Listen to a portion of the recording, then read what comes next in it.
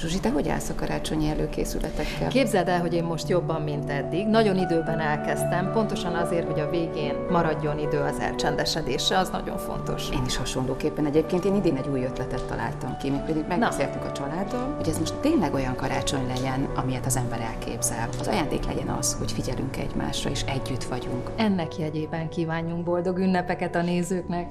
Kellemes ünnepeket kívánunk. Kellemes ünnepeket.